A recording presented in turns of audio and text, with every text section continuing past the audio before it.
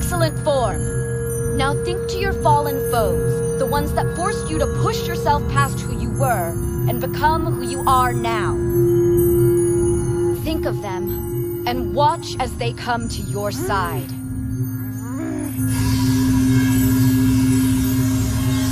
I can't. Stop doubting yourself. I'm trying. If this is what you call trying, then you have no hope of winning the tournament, let alone succeeding as a huntress. Why don't you just move back home? I'm sure father will give you a nice job as a receptionist. I don't need his charity. But you do need his money, don't you? What? How did you know about that? Lucky guess. I may have been in a similar situation when I joined the military.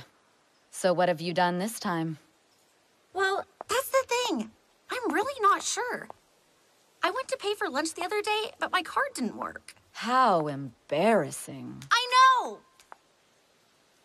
Well, it was. Why would he cut me off like that? Perhaps so you'd stop avoiding him and call home.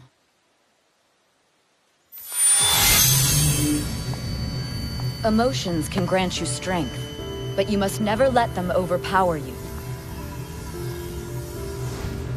It sounds to me like you have two choices in front of you. You can either call him, beg for his money back, and explain once more why you want to study at Beacon over Atlas.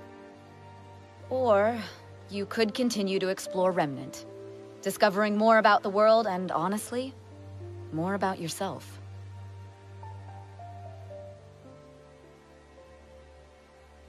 It's time for me to go.